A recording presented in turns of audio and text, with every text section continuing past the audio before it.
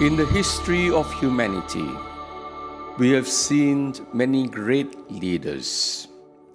Leaders that are highly motivated, passionate, leaders that are visionaries, leaders that bring society to a higher level. And most of these leaders are charismatic leaders.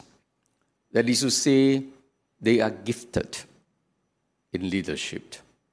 In fact, it is said that most leaders are born, not so much nurtured. That does not mean to say those who are born with the gift of leadership does not require nurturing. Of course, they do. But what is important is that leadership is a gift given by God to the person who has been entrusted with positions of leadership. A great leader is not simply a charismatic leader that is able to change the world, that is able to be successful in leading organizations and society. The greatness of a leader always lies in humility. The leader is not about himself. The leader is always about the community, the continuity of progress in the community. So a leader is always thinking about leaders after him. If a leader is successful in his own right, at the end of his death, everything will die with him. He has not passed on the legacy. So, a great leader is always thinking about forming leaders after him. It is not about himself, it is about ensuring that the organization, the community, will grow from strength to strength. And that is why you need to have a continuity of leaders. That's why when a leader works only for himself, he dies with whatever he has started.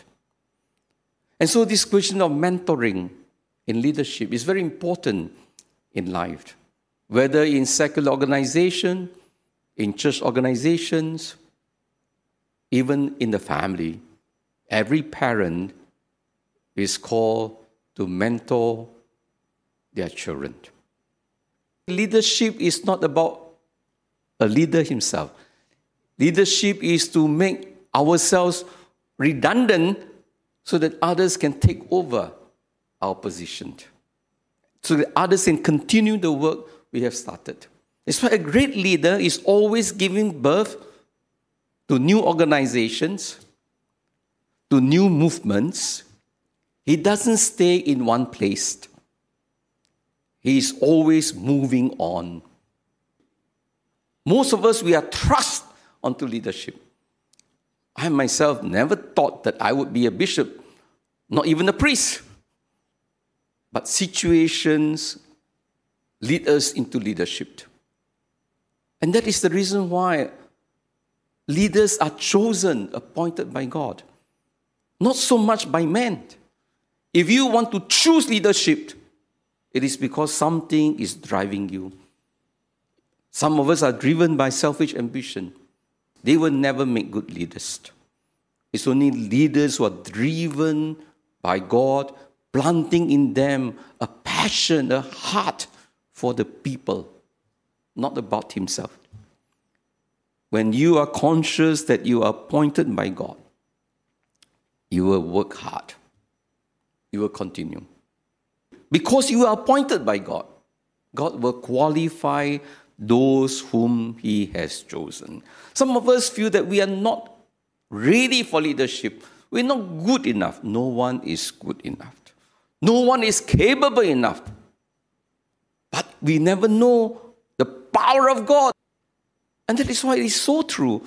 For us, we are dependent on the grace of God.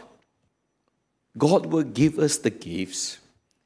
He will supply us the gifts necessary for leadership when we have been chosen by Him. To be a leader means to suffer. That is part of leadership. If you are not ready to suffer, be, be misunderstood, be rejected, be slandered, be accused wrongly, you cannot be a leader. A leader suffers for his people because he loves them. When we loved, we will suffer. Are you truly a leader? If you cannot suffer, it's because you don't love the people, you love yourself. But if you truly love your people, you suffer for them, just as parents would suffer for their children. Let us pray that we be good mentoring leaders. When you have a clear conscience, you'll be at peace because you have done what you have could as a leader. And the rest, we just surrender them to God.